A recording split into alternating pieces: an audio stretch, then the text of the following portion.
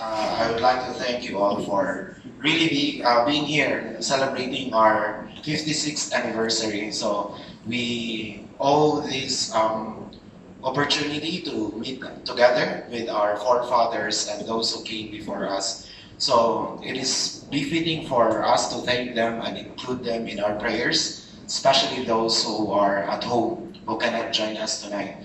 Um, all I can say is that um, JCI, Mandaue, particularly Mandaue, is really an opportunity for us to develop ourselves and at the same time um, share our blessings to others because um, not all are advantage or given the opportunity.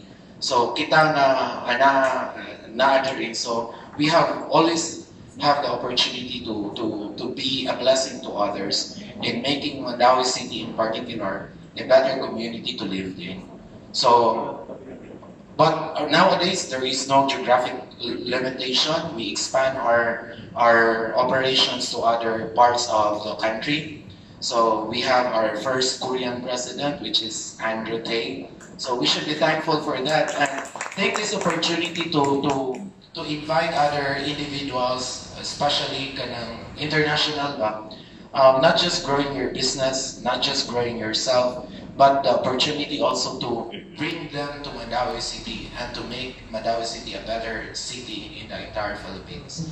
So the ball has been given to you now as the current members of our of our organization. So enjoy, enjoy being a JCI member.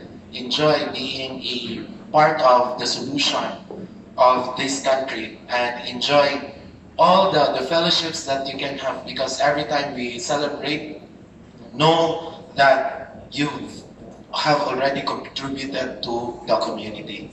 So to our past presidents and members, our heartfelt thank you for all of them. And to you, our current members, daghan kayong salamat for leading the new generation of JCI Mandaue. So we let's continue to be the merry men of JCI Mandaue and invite, invite others to join our cause. Thank you and happy anniversary.